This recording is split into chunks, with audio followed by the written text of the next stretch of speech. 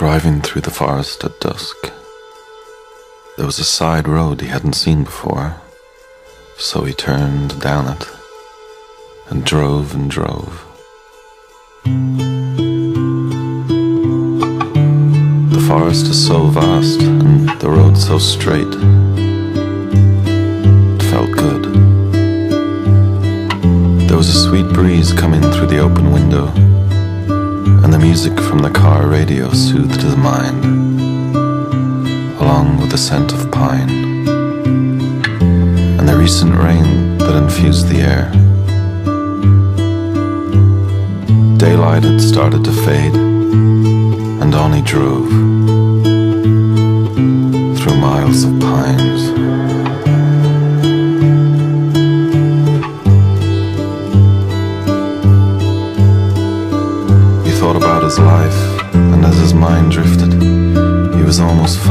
Some kind of peace.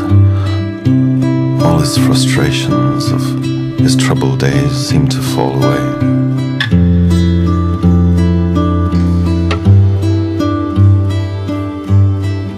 And on he drove, hypnotized by the rhythm of the trees, the dense forest,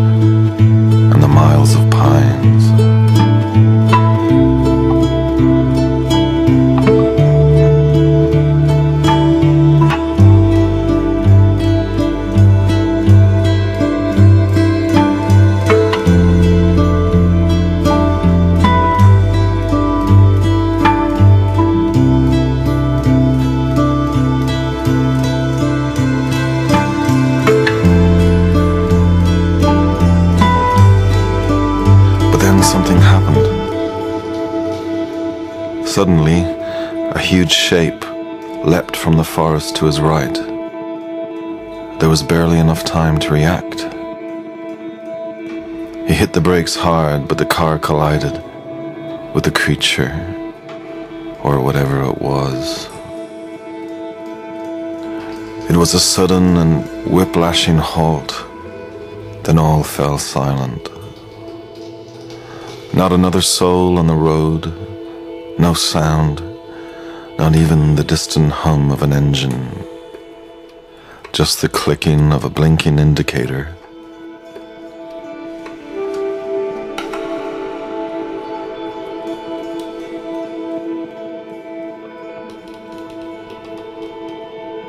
By now, the forest was dark, and all the stars were out, silhouetting the treetops.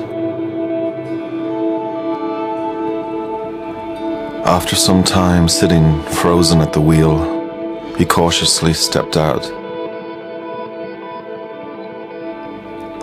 And there he saw the fallen animal in the blinking red light and the white of the headlights, surrounded by shattered glass. He saw what he had struck. It lay there still and surely dead. A wild boar it was huge. A wild boar. Its tusks shining in the headlights and under the stars. But how could it be? There hadn't been a boar spotted around here for at least 50 years,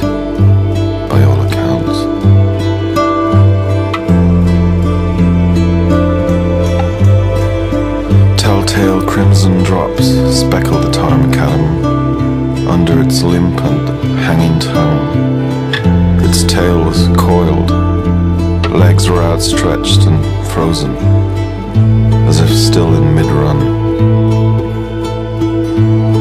A night moth had landed on the animal's head and seemed to be drinking a tear from its cheek. The night was cold now, and the man's quickened in the night air.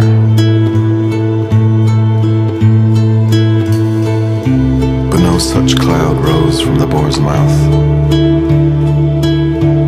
The man leaned over and slowly placed his open and trembling hand on the flank of the stricken animal. He felt a surge in his chest, in his loins. Felt like a hunter for the first time in his life. And then, without hesitation or questioning the strength he had summoned, he grabbed the hind legs and dragged the boar into the back seat of the car. He got behind the wheel, closed the door, and drove away through miles of pines.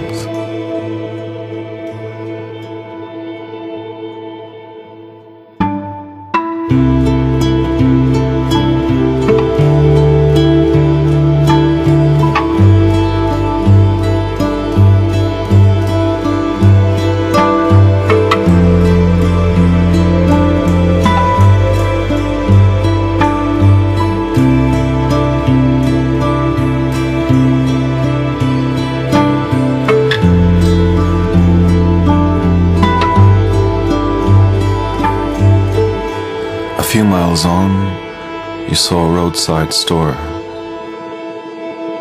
at a crossroads in the forest.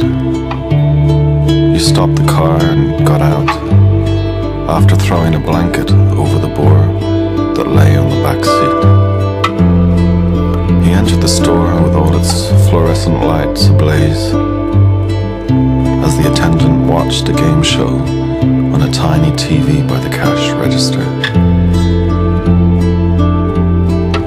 Store and, fishing the keys out of his pocket, he turned the corner to head back to his parked car. But then he stopped, dead in his tracks. The car had been totally destroyed.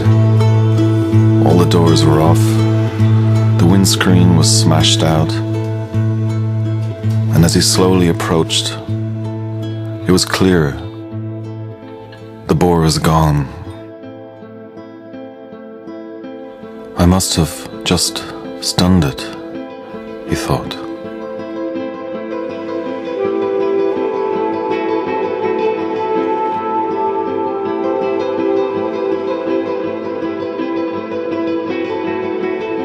He looked into the forest, walked off into the night. Through miles of pines.